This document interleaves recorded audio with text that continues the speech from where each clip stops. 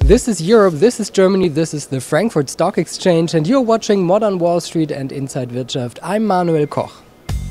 The German DAX had a good week, it gained over 250 points.